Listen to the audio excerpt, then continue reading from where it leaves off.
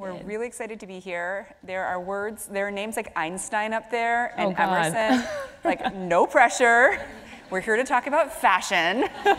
Definitely Einstein's uh, forte as well. Um, Arielle is so prepared. She has note cards. Can, They're we, back up, I- just in case. can, we note please, cards. can you please hold up your note cards? I mean, I'm pretty sure. And I printed and taped She the not questions on only has note cards, they're like printed and taped professionally. Um, I have no note cards. Back in school, I probably would have just like written the questions on my hand or something. Where is Lauren Rothkopf? Raise your hand. Okay, so that's one of my uh, best friends from college, and we were roommates. And she uh, texted me a few weeks ago and was like, I just want you to know I got a really good seat so I could heckle you throughout the entire event. So uh, if you hear like sarcastic snorts or like see like very like vivid eye rolling, it's, It's. Lauren.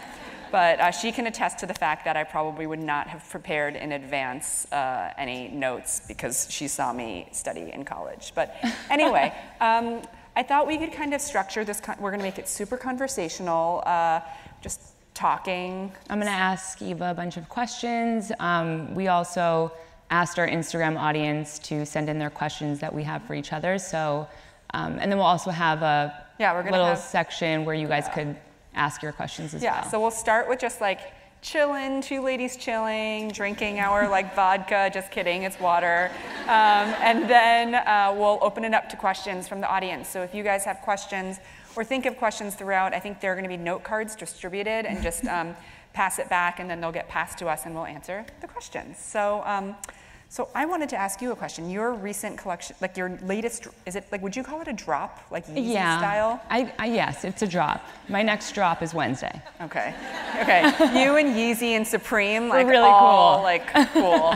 Um, tell me about the latest collection. So um, we are launching uh, all apparel, um, jewelry, accessories, shoes, and um, November is just a bunch of sweaters and really great pajama sets.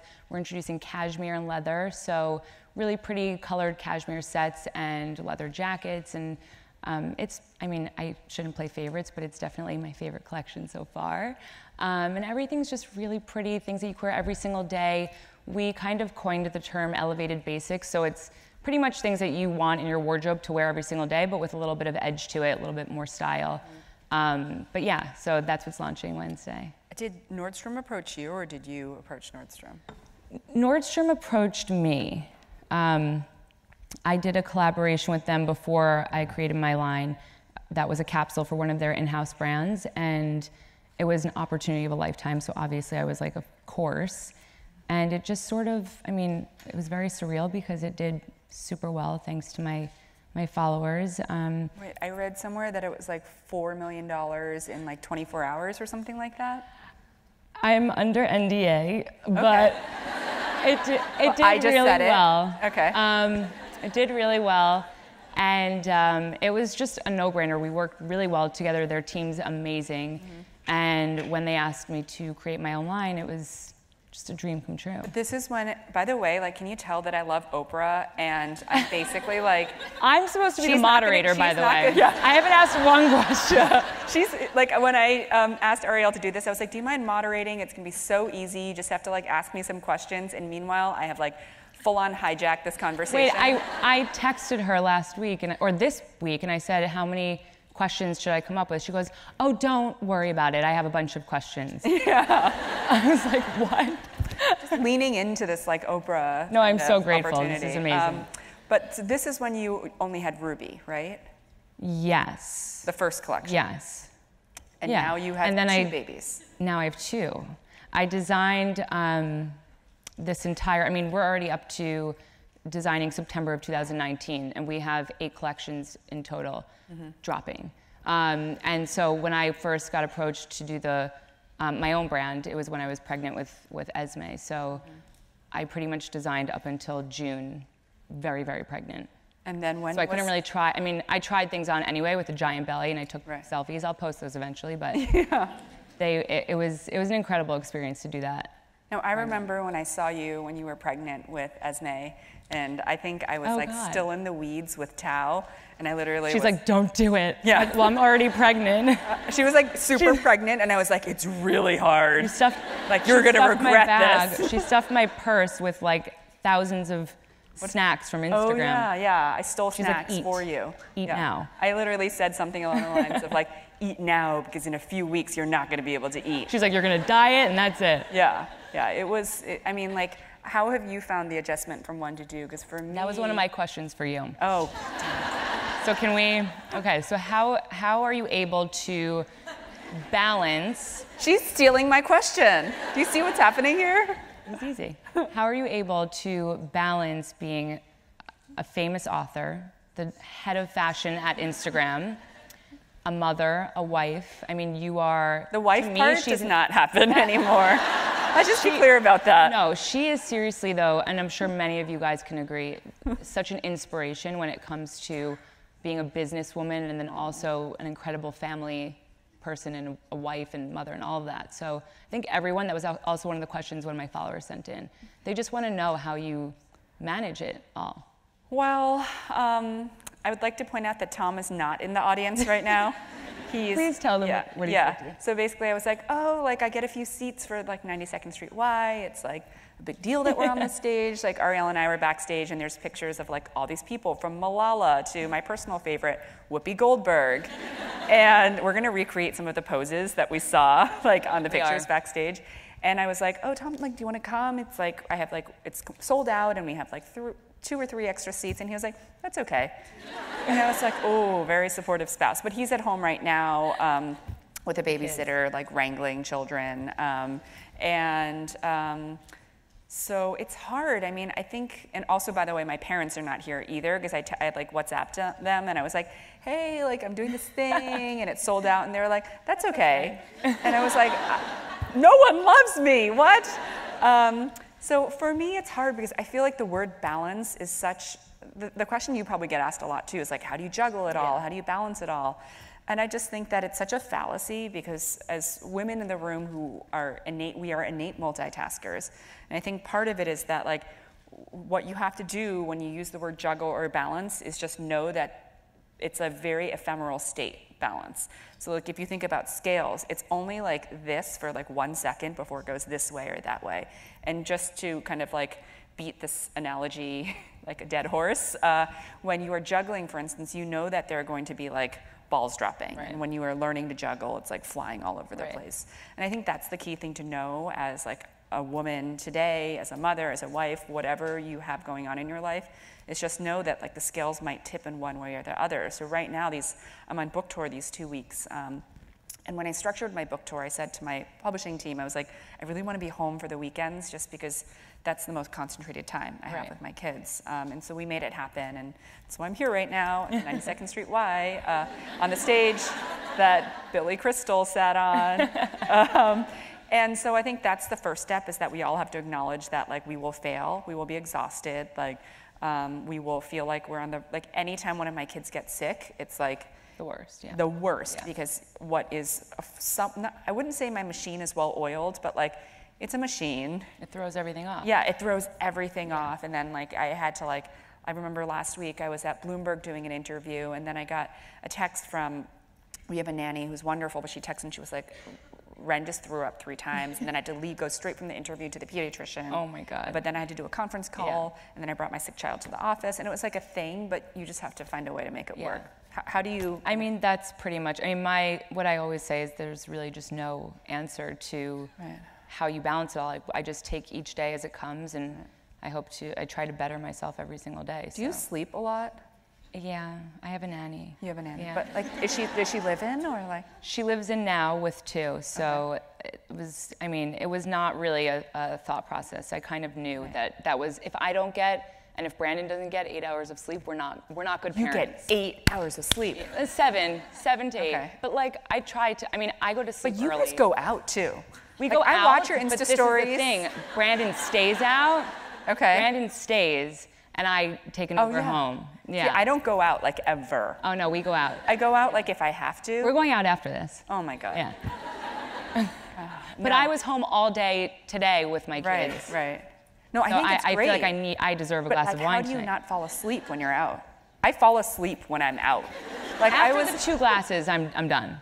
two Yeah, glasses. two glasses That of is wine. like I'm a done. wild night I out. For me, It used to be parties though. Now it's dinner and that's it. No, my fr- I have other friends from college. I think Jamie and is Jamie here? Look at all your Heather? college friends came. That's so nice. You are loved. Can you guys please raise your hands? Okay, hi. I can't see you because of the lights, Oh, but I'm waving at you, and then my friend. Michelle is somewhere in the audience too. Hi. Um, so I used to like go out, like like I was Like told nightclubs? That, no, yeah, I was told that kids don't go ooh ooh No, anymore. But they like don't. I used to like go out. Nightclubs aren't cool anymore. They're not cool. It's like bars. I But that makes me so happy that they're not cool. I know, because I feel like we kind of hit the prime time. Now we are cool because yeah. we don't For like to clubs. dinner. Yeah. But I used to go out, and now if it's like I was uh, in LA like maybe 24 hours ago, I don't remember anymore, or 48 hours ago, and then I was at dinner and I went to the Soho House in LA, and literally Oh, that's fun. It's fun, but then people were like, "Oh, do you want something to drink?" And I was like, "I'll have a white wine spritzer, please." and like the waiter was like, "Whoa, no one orders that here," and I was like. Grandma does. Um, that's me. Um, but I feel like that's so much of the transition too. I'm assuming that most of this audience is like, you know, 20s and 30s, and I feel like that natural transition from like it's been a- Partying and yeah, then yeah, it's been a, like- it's it's. I think that's something that I I, It's I, nice. I like it. Because you get to a point where you're just over it. You're over Yeah. like doing that. Yeah. So once in a while, it's actually really fun. Yeah, You know? once uh, every six months for me. Okay, fine. like, Me like twice a week. Twice a week. That's Like on the week, Friday, Saturday night, or Thursday, always, Saturday. Always Thursday and Saturday. Yeah, because Friday I have dinner with my family. My, my parents are right there. Oh, your And, parents uh, came. How yeah. nice. Wait, it gets better. It gets better. My in-laws are here somewhere too. Oh, your in-laws came. Yeah. How nice. Whatever. My friends from college came. Yeah, that's amazing. That's Yes. amazing. Ooh, ooh. That's for them. Okay, so wait, we have to talk about the book. Okay.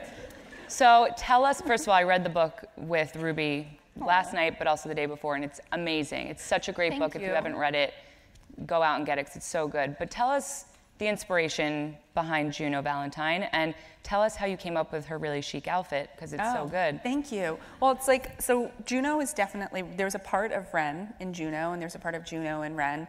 It's funny, my illustrator Derek, who's somewhere here too. Derek, are you here? Yay, Derek. Amazing. So when he and I were His talking. bio in the book, by the way, is amazing. Yeah, he it's wants. so funny. We're, we're, it's both. We knew that we were meant to work together when we were both like, okay, quick, who's the person like that you would kill to meet? And we were both. We said at, at three, two, one, Oprah at the same time, and we were like, oh my God, it's meant to be. We actually didn't meet in real life until after the book was done. We did almost everything for the book. Well, we.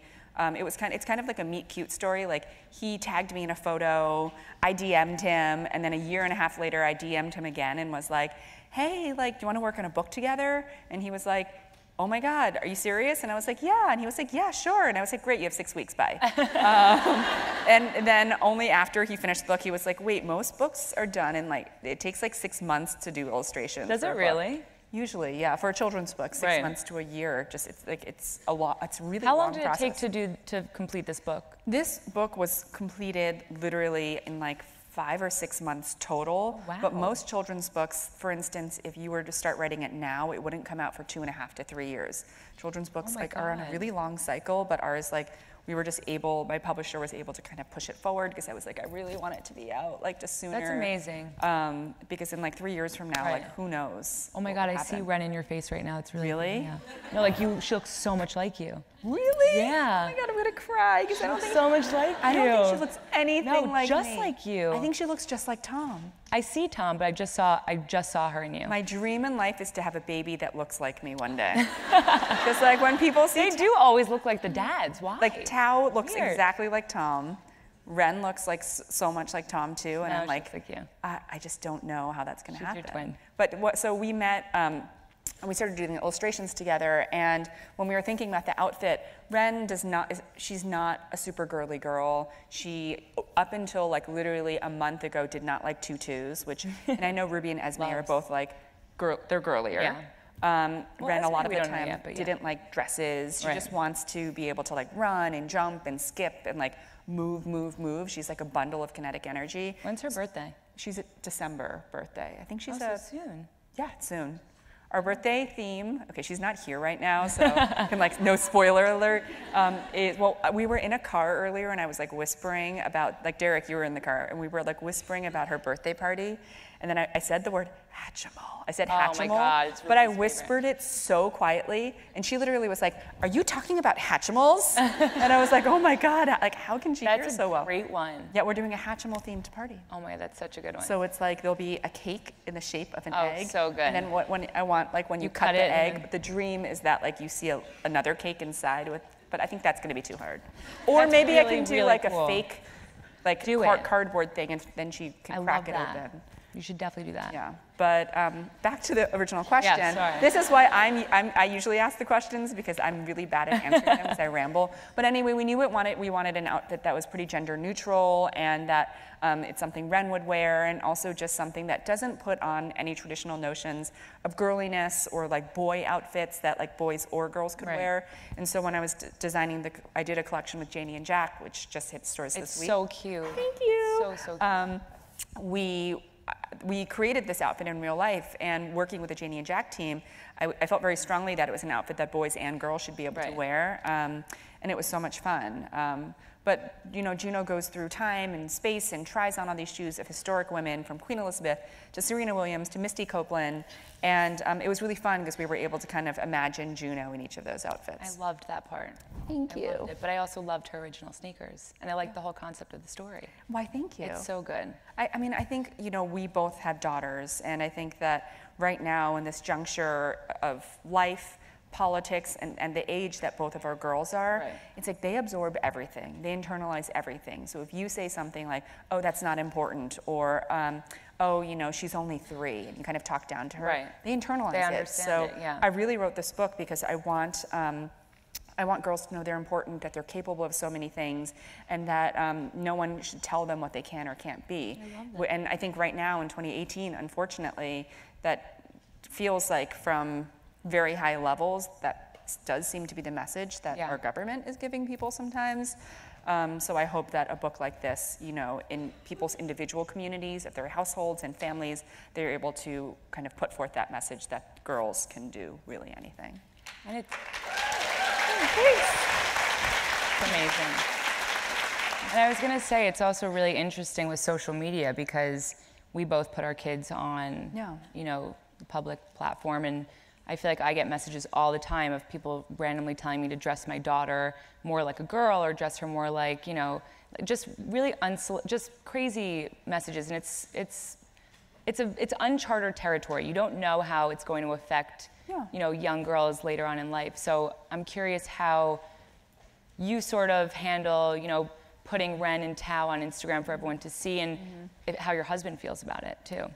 Well, I get asked that question a lot too, where people are like, oh, you know, if I'm working with a model who has kids or designers who have kids, they're like, oh, should I put my kids on social media?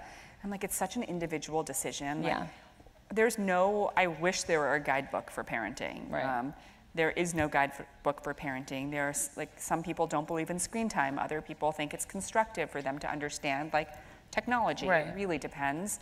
Um, and for me, with putting Ren and Tao on Instagram, I just feel like Ren and are like they are like more. They're my whole heart. They're like on my brain all Yeah, the time. it's you. And it's me. It's just a part of how I've evolved. So when I worked at Teen Vogue, like all of my Instagrams were beauty products and like beauty events. Um, and then when I was renovating an apartment, like my whole Instagram story, well, I don't even know if Instagram stories existed then, but it was like They my- want to see your journey, like your yeah, life. yeah, your exactly. lifestyle. And then for me, if I were to suddenly like not show this one aspect of my life, that number one, I take so much joy and um, pleasure in, except for when Tao is sick or except when uh, Ren is being Ren. Um, uh, you know, it would. I just feel like it would be kind of weird and also inauthentic of me to do that. You know.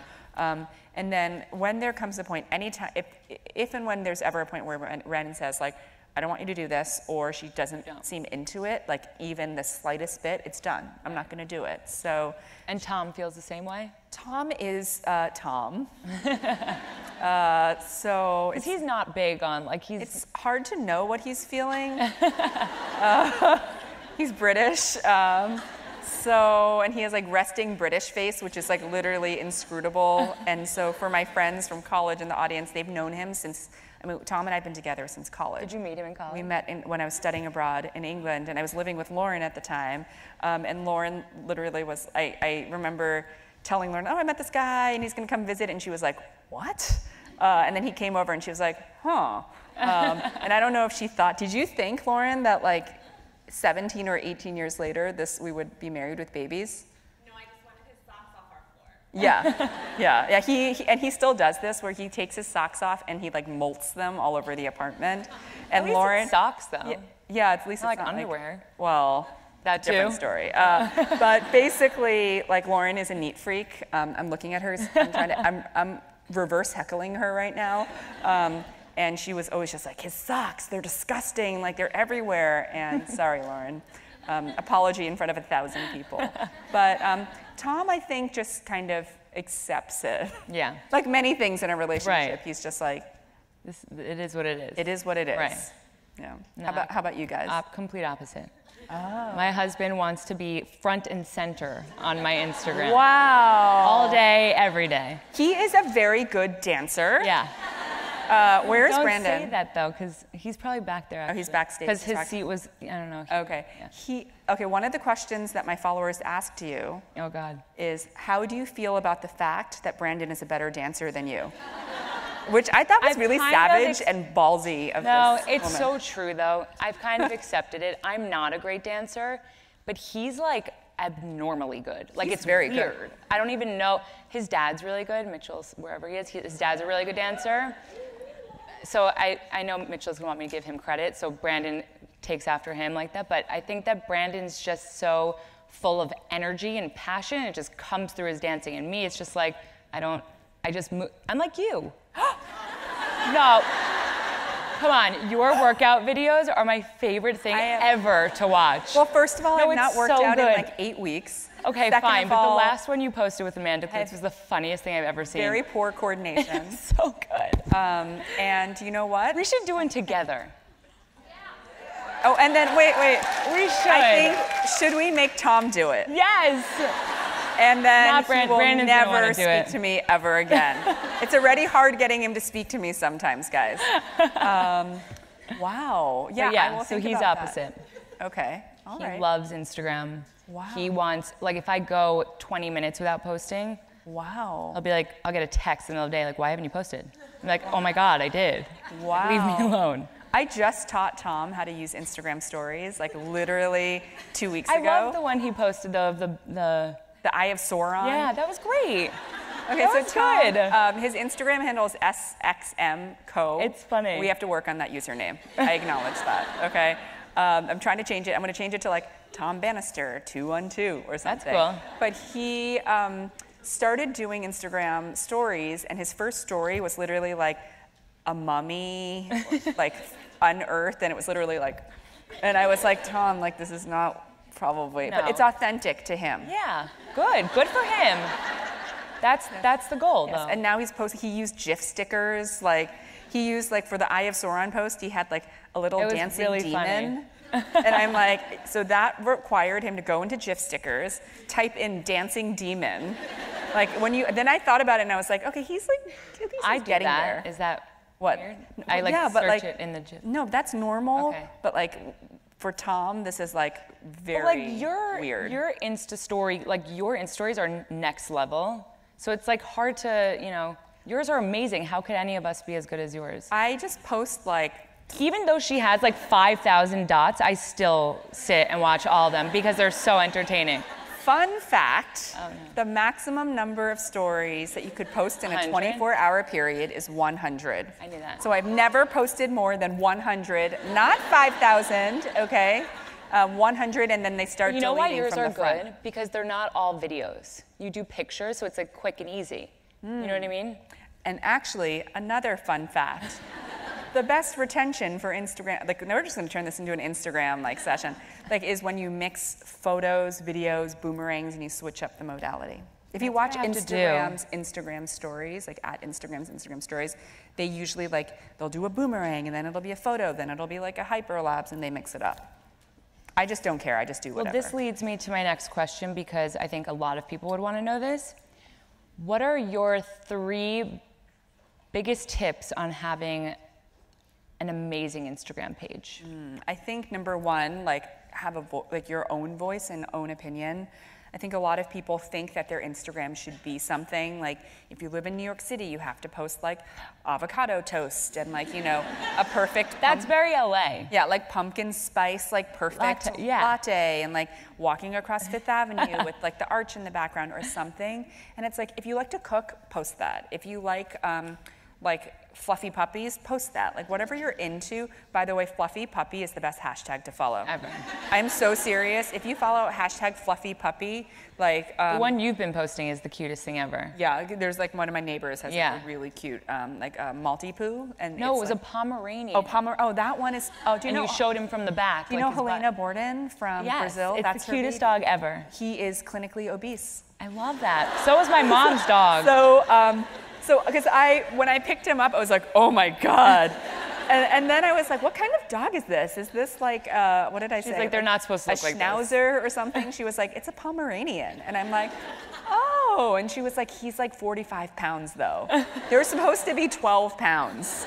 And then when you look at him from behind, he has like back. He's he has, so like, cute. He has like a bubble butt and it's so cute. He's so cute. Um, but yeah, so like that was my that's my first tip is basically like post what you want to post. I think so often when people have anxiety over Instagram or they just think like, oh my God, like they, it's because they feel pressure to do something, and once you kind of let go of that that, mental block, Yeah. but you could see that through the pictures Right. when they're trying to do something or like you want to bring something not. different to the table, like be who you are. Yeah. It's going to be like a great. Exactly. And then number two is um, like uh, the other thing, and this is more for like the, from the brand perspective, but I talk to a lot of like fashion designers or brands where they're like, oh, like, do you see how we don't follow anyone and we don't engage with anyone? We are so cool. and I'm literally like, oh.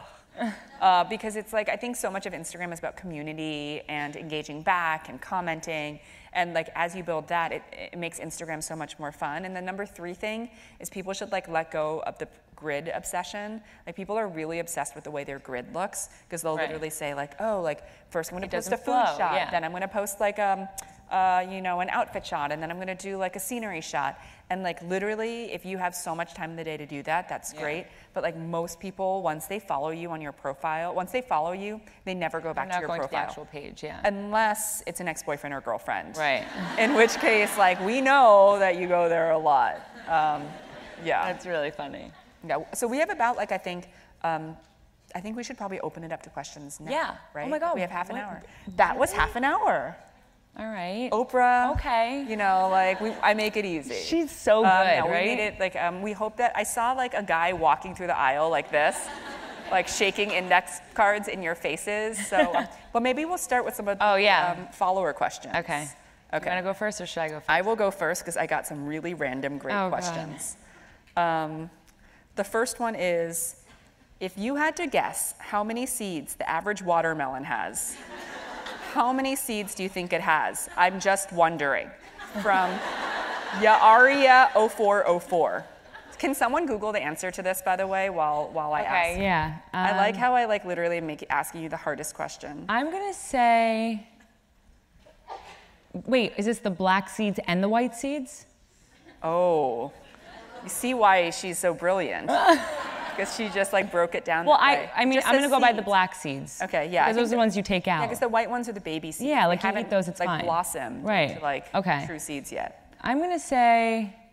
No, I'm gonna do a combined. I'm gonna say one. 120. 120. Yeah. My, I'm gonna guess 314. Can someone? Did someone go? Oh, someone. Yes. 200 to 800. What? Wow. 800 seeds? Why wouldn't you just buy a The seedless white watermelon? Ones, they're all over. Like, they, maybe How they're do counting they the white make it seedless though? That's like genetic is that? modification. Okay. You're eating some weird Yeah. genes right there. Um, okay, so Wait, I already asked the question about Brandon being a much better dancer than you. Can we schedule a Ruby and Ren play date? Yeah, we've been meaning to do that for like a year. I know. So let's do it. I'm back Oh, from book tour like in two weekends. so we'll Okay, let's that. do it. Okay, here's a question. Uh, what is, uh, Samantha Kane wants to know, what's been your biggest mistake ever and what have you learned from it? Ooh. Hmm, that's an Oprah style question, Samantha Kane. Well done. What? Oh God, Samantha. I mean, my biggest mistake. That's really hard. I mean, honestly, I've made a lot of mistakes, but it sounds so cliche. I, I probably I wouldn't change making those mistakes because I learned from them. Is that a boring answer? I mean, like that's It's true though. yeah. Like I've done things obviously that were mistakes, but they led me to, I guess, where I am right now. That's a good and very fair answer. Samantha caught me off guard. That's not cool. Michelle Sparrow. Oh, Michelle Sparrow wants to know what's your favorite place in New York City for ice cream? Is she in the Oh. audience? Is she oh. craving ice cream? Emack and Bolio's. That's my old favorite. school. It's so because they have the best cool flavors. oh, see, You know, like they're the not cool like flavors. healthy. I like the the real fattening ice cream, like the real one. I like ones that like taste like nothing. Oh no, no. Like there's a place called Sundaes and Cones on 10th Street between 4th and 3rd, and I love that place. Like it's owned by um, someone from Hong Kong, and they have like flavors like corn.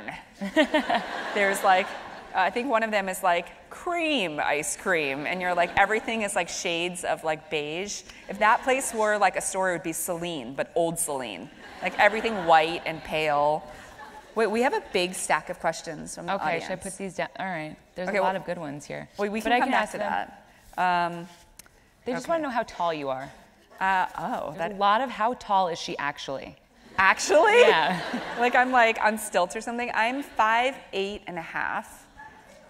Oh. Oh. what was that like shocked murmur? Like, do, do you guys They like? were very excited. do you guys think I'm taller or shorter? What? I'm gonna start my Pilates no, again I think tomorrow. Five, eight and a half sounds. That's what I would think. Yeah, I'm five, eight and a half. Yeah. That's what I would think. Yeah, I, um, I have very bad posture. Um, my mom I. got served an ad on Instagram for a, like a bra that like basically like has an electrical like thing in it that like kind of. Like, I need that. Like jolt Oh, you. I need that. And she literally called me and she was like, "I'm ordering. Like I saw an ad on Instagram. Like I'm gonna buy it for you." Um, I- and she was like, "The only thing is that you have to change the batteries every day." And I'm like, No. that's not happening." But thanks. But I am to start doing Pilates again because I can't believe you guys thought I was shorter. What? Um, okay. So let's do some of these questions.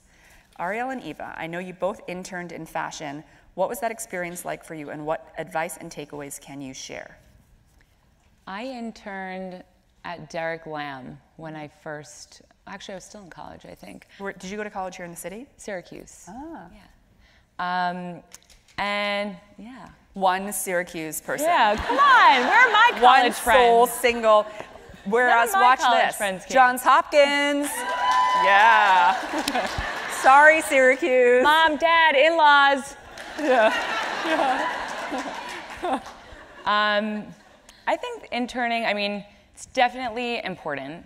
It was a great learning experience for me. I think that um, you just have to accept doing that like annoying work to really, you know, learn and, and um, grow in the industry. So I think that it was, it was an interesting experience. My sister definitely was not happy that she got me that internship because I was not the best intern. Oh, I her went and got a sister is this amazing stylist, by the way. Yeah, my sister's an amazing stylist, and she, um, so she introduced me to Derek Lam, and begged for them to give me an internship when I was like in college and not even thinking of what I wanted to do yet. Um, and I, I left in the middle of the day. I said I didn't feel well to get a haircut, and it, somehow they found out, and it was. Somehow you. It wasn't good. She came back with like a completely different hair But no, yeah, exactly. I and like a perfect hair, like blowout. and she was like, yeah. "I'm so Exactly. But no, now I now now I. I Now, what would you great. do if you had an intern like that now? I would be like goodbye. Yeah. I mean, I was like the worst. I, I feel bad. But Derek Lam still, I mean, I go to his shows, he invites me, so I guess, unless he doesn't remember it was me, Which is possible. because it, I had a different last name. ah. Yeah. Okay. So I'm trying to not, you know, I'm not letting them really know that. Yeah. Well, me. there are uh, 900 people in this room, so I'm pretty Don't sure someone's Derek gonna like at mention him and be like, "She was a terrible intern." Um, I interned at Harper's Bazaar when I was a junior, and it, for me, it was a very um, formative experience because it really was what kind of like gave me a light bulb moment and kind of transitioned me from being a terrible pre-med student at Hopkins to um, the magazine industry. And I like loved all that annoying work. Like I feel like actually, for me, I weirdly miss doing like nowadays like when I talk to someone and they're like, I'm an assistant and I spend most of my day filing. I'm like, like, "I oh miss oh my that?" God, I miss that. because like in a way, it's like when at the end of the day, like your most stressful task was to file. Yeah. And then you don't have to worry about these huge decisions or like kind of And you're also like, that. and you're also like, you're really young. You have like an amazing life and so much ahead of you. and you still go out That's past the 10 best p.m. You go to nightclubs. You're not just you go to nightclubs. I don't even think they call them nightclubs right, anymore. Discotheques? What are they called? Discotheques. Okay, 1972, Studio 54. I think they just say like out, like we're They go going out, yeah. yeah. I don't know. Are there who's pre-games who's anymore? 20 in this audience? Is anyone 20? One lone hand. What do you guys say? Out. Out. Yeah. See, I'm hip to the lingo. Yeah, all right. That was easy. But I loved interning, and I think that the key to being an intern is like, have you guys seen the movie The Intern? The best movie. Okay. So my dad called me after that movie. I wish I could tell this to him in person, like if he came to this speech. Um, I, and he called me and he was like, that was a great movie. I'm going to start applying for internships. I will always organize the table of junk. Let him And- work at Instagram. uh, I don't know. Um, but if you need an intern, let me know. he will organize your table Wait, for we you. kind of do need one. He would be great, uh, reverse mentoring. Um, but so I feel like in that movie, there's that table that's like obviously a very heavy-handed metaphor for like everything, where it's like a table of stuff, and like Robert De Niro goes and organizes it, and it makes um, Anne Hathaway like He super makes me happy. sad in that movie, though. Hmm? He makes me sad in that movie. Why? I feel bad for him. They're like Why? not nice to him, and he's like experienced. but he proves himself, and then they like love him. I know. All right. That movie made you sad of all the very movies. sensitive about Robert De Niro for some reason. Oh. I think because he reminds me of my dad. Robert De Niro reminds me. My dad is Isn't the that Asian weird? Robert De Niro. They look That- I feel exact- a lot of they people look feel that way. Like I think maybe after a certain age, everyone's dad looks Is like Robert, Robert De De Niro. Niro? where you're like, oh, they have kind of like a scowly, Yeah. like like unruly brows. I don't know. So true. Um, but for the people in the audience, like the three people in the audience who are 20, um, what I would say is like when you go into an internship, like always ask your boss, like, is there anything else I can Yeah. do? Um, and then also look for those projects that it seems like they're always like, oh, I wish someone like would do this, or like, I need an oh, we've been hand." meaning to do this, but we haven't had a chance. Like volunteer to do that. So when I was at Harper's Bazaar, when like this was before people had like the cloud to store contacts in, like literally everything was done on a Rolodex. Um, and so basically, I created this like Word document of every single like beauty, beauty industry, and I was like, oh my God, it's amazing! You can press Control F. I taught my boss how to press Control F, and then she could search like who does the PR for Kerastase, um, and that was something that I literally did like you would have been a really good doctor too. I was pre med. That's so cool. I would not have been a good doctor Oh. because um, I would faint at the sight of blood. Really? Yeah, I probably would like pass out and like slash vomit. Like when Ren has had like, you know, scrapes, I literally am like, hold on. hold on a second. And she's like, mommy. I'm like, hold on. like literally, That's it's like, but I also get like freakishly calm when Right. like, knock on wood, like stuff like, Like when- happens. yeah. Like anytime I get stressed, emergency. like I tend to go t- like spiral downward into That's like a great doctor trait though. Maybe. Like yesterday, I was uh, flying from San Francisco on the red eye to get back to New York. And um, I left my purse at the wing, which is like where I was speaking. And literally, we got to San Francisco airport, and I got a call that was like, "Oh, your purse is still here. Is your ID in it?" And I was like, Oh God. and like this is where I entered that eerie calm. I was like, "Yes, I do believe it is." And I had this like, and the guy who was driving me literally was like, "Are you okay?" And I'm like, "Turn. You have to turn back." And then the whole time I was just sitting there staring out the window like this because I spiraled into like to be some part what of myself. What can you do? I literally was like, it's Yeah. going to be okay. And then I texted the publicist and I was like, this is not an ideal situation. I, I, I do believe you need to search for another flight. And then I wrote one more time for emphasis, this is not ideal. And it's like, of all the things, she was like, it's gonna be okay. And I'm like, yes, I believe it will be. like it was just like freak, it was like freaky. And when I ever enter that calm, like that's when Tom gets really scared. Um, okay, let's do another question. Um, let's see. Da da da. Eva Arielle, just curious, if you love a product, would, do you post about it unsolicited? You guys can be the next Oprah that way. Oh. Um, if you look under your seats, there are cars for everyone. you get a car, you get a car. Um, no, I mean, we're both in the same position where we are very fortunate to get stuff Yeah. like sent to us. Yeah. Um, I would say like 99, maybe not 99, but a good portion of the stuff ends up being shared with my coworkers at Instagram, where to the point where we're moving desks right now, and everyone's like, "We want to sit next to the fashion team," and because I'm literally like, "Does anyone need a chocolate-covered artichoke?" Like, I just got sent a box of chocolate-covered artichokes, some- something like super random. Um, but I post about like I don't get paid to post. Like the only thing I've ever posted that's been a paid partnership is um, the uh, Janie and Jack line because I was paid to do that collection. Um, like, um, and then um, they required that I post a Right, certain number of right. times, which I w- have done times like 50 because I think the collection is so cute, if I may say so myself. Um, but everything else I post, I'm like not paid to do it. I Yeah. just do it because I like it. And so like I used to, I, I, I need to start doing this again. I have this like newsletter for like, like mom tips. Oh, I love that newsletter. Oh, thank you. good. Um, and then so I have this newsletter, and it's like it's all really You're very random stuff. organized. You like do a lot. You do a lot. Yeah. Um, but the last like thing I posted about was like, um, like you know those like cotton balls that you used to take makeup off, and literally like one day I was like, why hasn't someone like invented like reusable ones? Oh my God, this is like my billion dollar idea. Like I'm going to be a billionaire. I'm going to retire. And then I like went on Amazon, and there were like 5,000 companies that do it already. Um, but then I posted about that in my newsletter, and I was definitely not paid by that company, by this random tiny like. Re- but by the way, they're really great. Um, anyway.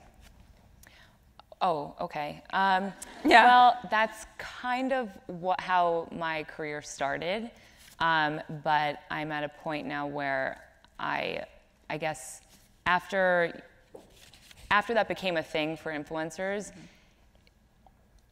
I kind of, I mean, I tell this to all my followers. I did accept pretty much everything that came my way because I didn't know any better. I was excited and I was so excited to get Well, these jobs and get like, paid getting for it. paid to do it. And It was the very- difference is that I have a full-time job Right. that like pays me. Yeah. And so for me, I'm kind of like I'm I'm Right. already paid. You know. Right. I also feel like for me, it would be a conflict of interest to post and get paid by fashion brands to post because I'm supposed to be Right. helping them. Of course. So if like. Um, well, Gucci, it'd be so great if Gucci were like, we want to pay you $7 million to post this. I'll be like, sure, let's make it eight. Just kidding. Um, but it's like, I feel like for me, it would be kind of weird. Yeah, no, I mean, I, I was doing, I mean, I admit that I did do it um, in the beginning when Instagram first launched, and that was how we were, you know, building our careers. But um, after I saw the reaction from a lot of my followers, it became um, something that we were super selective with. Now, I mean, I occasionally post uh, products that are paid, but that's not what my focus is anymore. I do a lot of paid sponsorships, but we as a team now, we if we have never tried the product, we have it sent to us like a couple weeks before. We test it out. If we're not into it, we just say no to the job. Um, but then aside from that, I get things gifted all the time. So if I'm actually loving the product, I post about it unpaid, and they usually come to me after that, being like, "We want to pay you now because so many people are buying it, and we want to work together." Um, but if I get a gift, you know, that I don't necessarily like or use, I just don't post it. No. And my team, all the girls on my team take things, my sisters. Yeah. So it goes to good places, but Yeah, Yeah. that makes sense. Okay, very important, serious question. Who makes your boots? Actually, I can answer that because I asked. I asked that exact question as she was walking up the stairs. I was like, "Who are your boots by?" Um, they're Gianvito Rossi, Yes. who makes super comfortable best shoes. shoes. So comfortable. Uh, fun fact: he's the original Sergio Rossi's, Rossi's son, right? And then when Sergio Rossi was acquired, he kind of started his own business, and he makes like the most perfect pointy-toed pumps. I think. and the heels are actually very comfortable. Yeah. Like I don't usually say that about a lot of designers. Like they're, the shoes are really comfortable. You could they're I think all worth the money heels. too. Wait, where's Michelle? Remember, I like made you buy a pair, and I basically for one year was like, she was like, I don't know. I'm like, you have to buy the shoes, like, um, and so are they not extremely comfortable? Yeah, there we go. Well, these are extremely comfortable. Yeah, well, that's a good kind of. And the I'm, heel's not too high. I'm super happy that lower heel heights I are know. a thing now. It's trendy. I love it. I'm into it too. It makes me Especially so as a mom. As a mom, yes, ideal. yes. Ideal situation. Like the Chanel that has the kind of stacked, like yeah. kind of like. love that shoe. I love that shoe. The slingback kind of hurts a little bit sometimes. Really? Yeah. You might be getting the wrong, Wrong size. size. Chanel sizing is very inconsistent. Yeah. Ah. I think need to change. This is like turning into a whole Sorry. like Okay. separate conversation. Those shoes are on the cover of my book. Oh, and then um, they are like if you look at the cover of my book, Oh, and should you choose to buy my book, which it will be available in the back later. Um, you, there's a lot of kind of fashion, what I call Easter eggs. So these are the um, Manolo Blahnik Hangisi, which is the Sex and the City, Carrie Bradshaw, Mr. Big Shoe. What are those, Lady Gaga? These are Vivienne Westwood's um, kind of platform heel. Um, that remember Naomi Campbell tripped on Yep. the Vivian Westwood That's runway. she was wearing. This is the shoe that she was wearing. Naomi's gonna get mad at me. I've said that in every interview, like that I've done about the book. And and then Naomi Campbell tripped. Um, she's going to text me about that. Uh, so that is Chanel, um, ruby slippers, and then there's like Versace shoes in here. Let's see, what else is there? The YSL cage boot. I put a Glossier balm for Emily Weiss in there. Virgil Abloh. The 23s Oh, for wow. Gigi um, Hadid, who uh, that's her lucky number. Avocado for Aimee Song. Stan Smith's uh, the Prada Flame shoe. So it's like for fashion nerds in the audience. Like You'll when you read this book, I think you'll like um, Yeah. you'll get all these references. But hopefully, it's a book that even if you don't.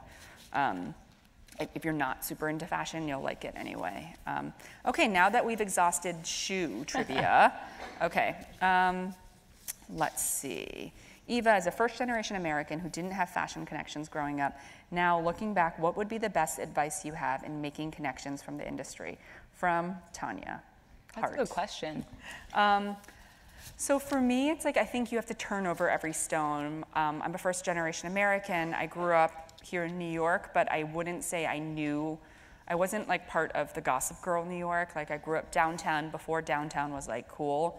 And my parents, um, who are immigrants from Taiwan and China, when they moved here, they were working in import export and um, from a really small community, not really like in the fashion world at all. Um, and so for me, I applied to Harper's Bazaar not through like a lot of people in fashion get their internship through A like sister. if they're lucky, a sister, but sometimes it's like an aunt or a friend's cousin or something. I, I didn't have that. I just applied with my resume and I found the information on the internet like for the corporate program. Um, and so I think you have to turn over every stone. Um, when you go to college, every college and some high schools even have an alumni office. So like ask them, say like, oh, like I'm really interested in, for instance, fashion marketing. Like, are there any alumni who work in fashion? And it might not be at like Chanel. It might be at like um, a store that like is not your personal style. Doesn't matter. Ask them if they can. You can have an informational interview with them. Email them with a big like the subject line should read like fill in the blank school class of. I don't even want to think about what class they would you you guys would be, like two, 3018. I don't I don't know. Um, when I was doing my book, like when I was yesterday or two days ago reading to like a room full of um, first graders, or they weren't even first graders, they're like kindergartners, and like at the end of this kind of Q&A session, you ask the kids like, "Do you have any questions for me?" And they most of the time when they ask questions, it's not questions. It's literally like, Can I have a cookie? it's it's not even Yeah. like that. That's a question. Oh, okay. Like they literally are like, my mom has shoes, and you're like, oh, that's so nice. Um, the other question I got was like, do you know Margaret Keegan? And I'm like, and I'm racking my brain because I'm like, is she a famous like poet? Is she like a notable woman? And I was like. Margaret Keegan, and she was like, "She's my mom," and I'm like, and I was like, and I was like, no. Um, the best question was like, the best two questions. The next best question was like, excuse me, do you like Cheez Its? And I'm like, yeah. And they were like, okay, I really needed to know. And I'm like, oh, okay. um, and then the best, best question was someone was like, um, excuse me, like, how old are you and what year were you born? And I Oh, was like, God. oh, like, and I always forget if I'm 38 or 30. Am I 30? Am I people from Hopkins with me? Like, 39, thank you. I always say I'm like 37, and people are like, that is a lie. And I'm like, I genuinely do not remember. After Tao, like, I've lost all track of time. Um, and so I was like, oh, and I, so I said like 38 or 39. And then she was like, what year were you born? And I was like, 19. Oh, first I, I was like, what year were you born? She was like, 2015. And I was like, oh my, or 2014. And I was like, oh my God. And then I was like, I was born in 19. And she was like, all the kids were literally in unison. Like, they, they literally, their jaws dropped, their brains so exploded, and they were like, 19? And I was like, 1979. And they were like, and they were like, oh my God, you are so old. And I was, and then someone was like, are you a grandma? And I'm like, I'm a grandma in here because of that question, and also because I drink white wine spritzers, but I'm not ashamed of that. Um, but yeah, you have to kind of, I don't remember how we got to that story, but you have to turn over every stone, use all your connections, um, and then you also have to work harder than everyone else. Right. I mean, I did think you just have to, like, blood, sweat, and tears. Like, I feel like there's a lot of um, kind of negativity towards like this generation of 20 somethings, like millennials. Like, I am always reading articles that are like, millennials ruined cheese. like, millennials are killing cheese. Millennials are killing like movies. And I feel like, like I have a, a team of millennials, or like some of them are millennials, and it's like they're so hardworking and great. You just have to like go in there knowing that you have this like stigma and bias against you, and you have to like outperform it. Right. I guess. It's tougher on them. Yeah, it's tough. Okay, Wah, wah. like throwing these cards. Next question. Oh, someone, wow, this is like initiative. Someone put their email, like their Instagram handle for a shout out. Um, Shout them out. I, oh, I will. Uh, my mom was at your book signing on Thursday in Danville. What's um, both of your favorite things about your mom and being a mom? Well, my mom's not here right now, so I think you should start. My, my favorite thing about my mom is how she's just everyone's number one supporter. I mean, she's like the biggest cheerleader, always has your back. She does not miss one phone call. Um, and she just lives and breathes for her daughters. So it's just, it's the best, best role model to look up to as a mother myself. So. Okay, I'm gonna try not to start crying. And then what about being a mom? The best thing about being a mom is just watching my kids learn everything. I mean, just watching, you know, them experience the world through their eyes. It's so entertaining just hearing them speak and do things um, that I share it with the world because it's so funny. And um, I think just I love the kind of person that they've made me. I think they've made me, you know, I, I used to, before kids, I feel like I was just so all about me and it was everything was about me and I, I feel like now it's the love that you have for someone else just it just makes you I think a better person. I just feel like a fuller person. Um, but yeah, I mean like my kids are just so fun. It's just so fun to be with them. So Is there anything you miss part. about pre-mom life? sleeping in and like watching movies. You get eight hours of sleep. Like stop. Yeah, but I, but that's because I go to sleep early. what time do you? What's early? I'm in bed by like nine. Okay, yeah, that's that's my. But like I'm right asleep, there. but I, I go to sleep at like 10:30. Right. To make sure that I get those eight hours. Are they- But like I want to sleep in on a Sunday and watch movies or like a show all day. But then when you travel, like when I travel, even if I can sleep in, I can't. Oh no, yeah, there's I no literally way. like wake up like. you It's know, an alarm clock. It's I've like an in in. California for the last like Yeah. 72 hours, and literally I'm like, yes, I can sleep in, and then I wake. I've been Yeah, same. Up I have like, not slept in. 4:30 and No. 5 a.m. and I'm like, It's damn over. it. It's over. And then by the time I like see people, I'm like, I've been up for six hours. like, I've had a full day. I'm done. Um, but then of course, like the time difference is so Yeah. hard. Um, so Brittany, where's Brittany? Wait, but you didn't answer the- question? you didn't I'm going to. oh, I'm like shouting her out. Where's Brittany? There is no Brittany. She's fake. Up here. Up here. I can't see you because like literally I'm like Oh, I see you. bright light. We cannot see you. Oh my God, you're so excited. I love it. Um, okay, so what I would say is my favorite thing about my mom. Okay, so my mom is a tough cookie. Um, she is like, I don't know what is one step past tiger mom. is it like uh, lioness? Is it like snow leopard? Like, I'm trying to think of all the different felines that exist. She is like the consummate tiger mom. Um, I remember growing up, I, I was very underweight as a kid. Me and when- too. and but it's like sometimes people say that and they're like, I was underweight as a kid, and then they show a picture of themselves and they're like a model. Um, Oh no, I was No. like, severely underweight. yeah, I had to drink those. Ensure. Ensure. Yes. Oh my too. God. Yes. Okay. Same. So Mom. ensure. Yeah. And I would say mom, but again, my mom's not here. Um, so uh, I'm trolling her savagely, by the way, because she's never gonna know. Uh, so Ensure is this disgusting drink that they. It was actually good. I had chocolate milk flavored. It's disgusting. Okay. I liked it. So it's like what they give senior citizens when they need senior citizens to like gain weight or like maintain a weight. Um, and oftentimes it's served in like hospitals Yeah. and other um, hospital-esque facilities. And so it's each can I think is 1,600 calories. Yeah. And so, Yeah. I love That's that like the shocked murmurs tonight have been about my height and about Ensure. Did you drink yours before bed? I drank. I had to drink three a day. Oh wow. It's dis- It's like thick and pasty. It's good. And so I. Tastes like chocolate milk. She just like said like it's good. Okay, I know what I'm gonna send her after this like panel. Oh, don't send those as like now, a thank no. you gift to be like thanks for moderating my panel, and she's gonna get a big case of Ensure. Um, um, and so I remember it took me a long time to learn how to swim because I was like basically a stick figure. And I remember like, I remember this like vividly. I think I was like 10 or 11 or 12, and I was in a swim lesson, and my mom was there, and she was like, everyone else is swimming. You're the only one not swimming.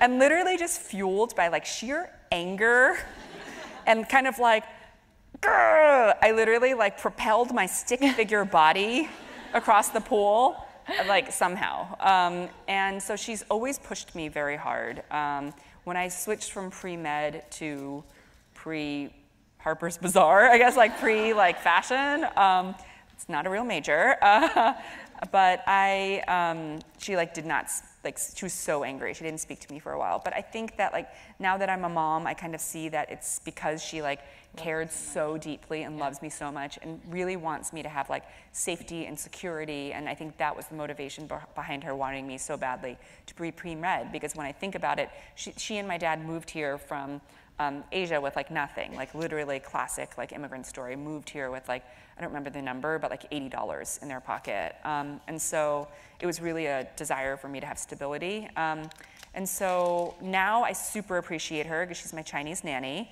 Um, no, I'm kidding. I super appreciate her because I see like how extra she is. Like if I literally post on Instagram that I'm like sick, she literally is like, here is bone broth with like artisanal seaweed and blah blah blah.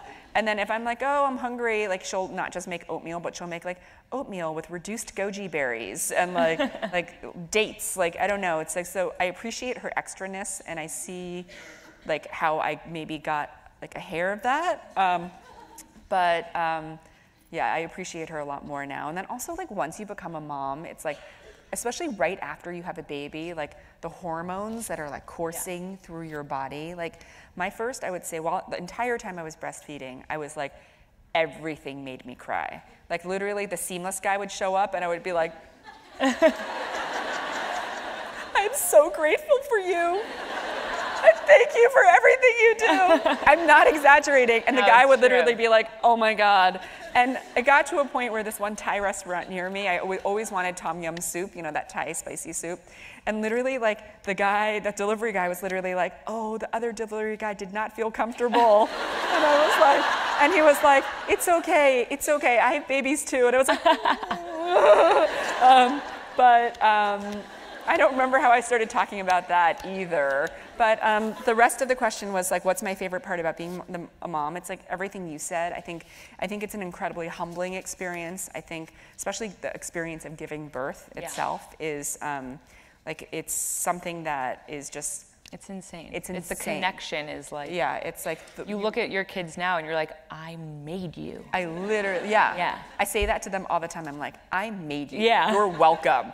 Uh, Ren, stop talking about Hatchimals. Uh, so um, it's an incredibly humbling experience. I feel like for me, it's like the greatest honor of my life is going to be like being their mom. Yeah. Um, and hopefully, like I can just do them justice. I'm gonna try not to cry. I'm not pregnant. So, okay, let's keep going. I think we have time for like two more questions. Here's a little bit more lighthearted question. How do you decide on which designer pieces to invest in? From, oh my goodness, we got to do something about this username. S at S dot A M M M M M M M dot Wait, Y. she wrote it that whole thing out. Yeah, where are you, S dot A M M? Okay, yeah, we got to fix your username. That's hard to type out. Um, so, how do you decide which designer pieces to invest in? From Sam. Um, I think for me, I like to just invest in the pieces that I know work work for me. Like I, for example, like Gianvito, I think that his shoes are so comfortable, so that's usually what I'll splurge on when I'm looking for a new boot or a new flat. Um, and then I also like to look at what my sister buys. She has impeccable taste. She just like is her style is so like you know. Can you give her a shout out, please? Her Instagram. Yeah, her Instagram's Danielle Nachmani. Um, She's- she's, so she's just cool. She's just like cool. That's like really the, the best word to to use for her. Um, so you just know that whatever she posts, like it's good and it's good quality and it's Yeah. she really thought about it for a long time before buying it. So that's when I'm like, oh, maybe I should start like you know investing in that designer. Yeah. That's that's usually how I Very helpful to have a stylist sister. just I'm- like copy my sister. So she um, styles uh, this actress who I literally believe is the most beautiful human being stunning. alive.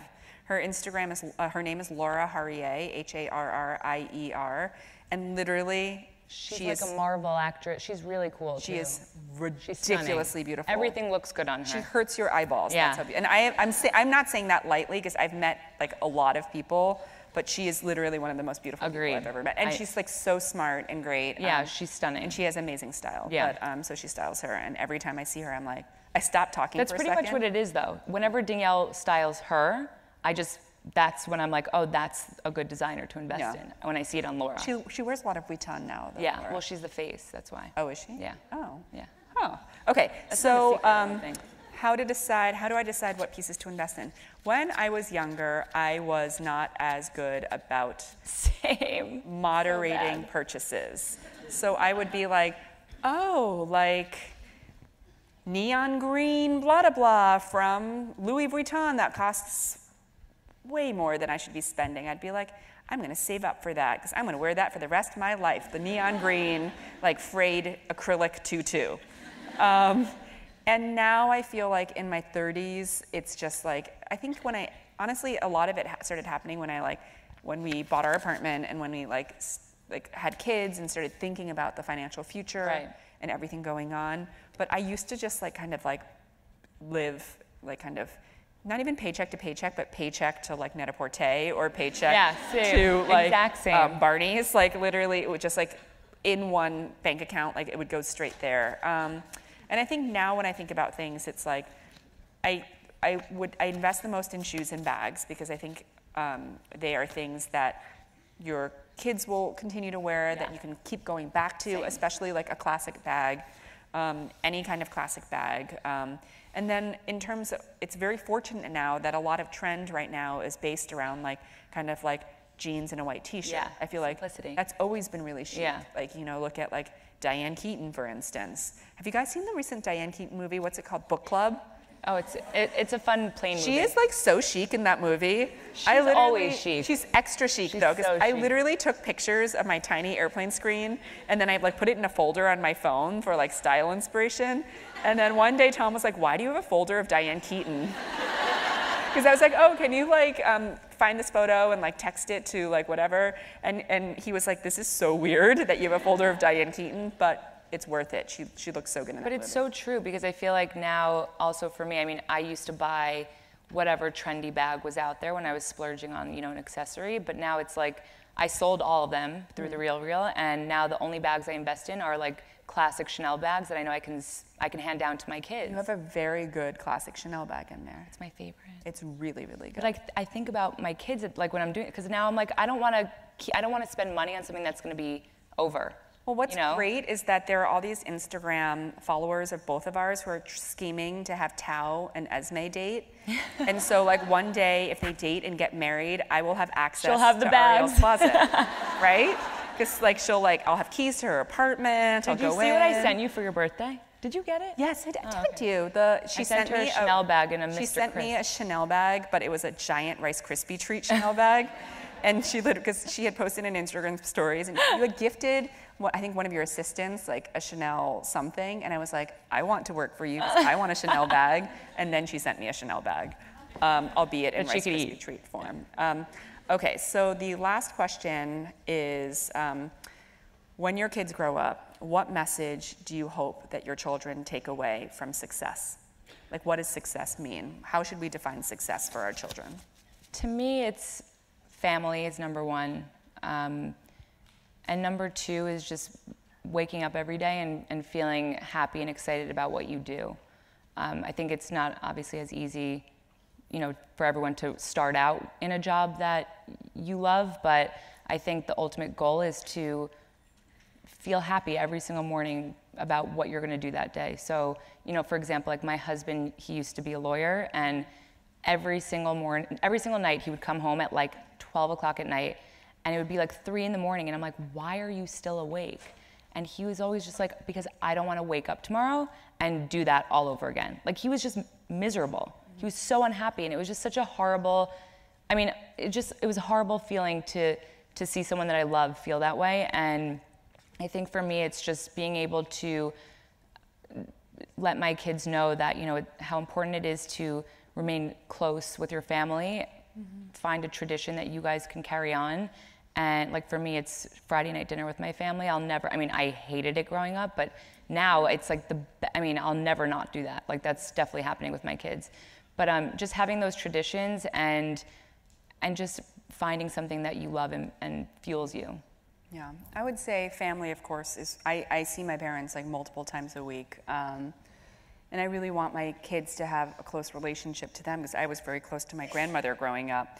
Uh, my grandmother, who now has Alzheimer's, um, you know, she's not really with us in this world anymore. And actually, June is her name. And so I always told Tom that third reaction, my height. What was the second thing? Oh, your Ensure weight. Your weight. My Ensure, yeah, and the, the, yeah the caloric intake, the caloric count of Ensure, and then the name June. So my grandmother's name was June, and I always said that um, to Tom. I was like, I want I want to name one of our kids Juno.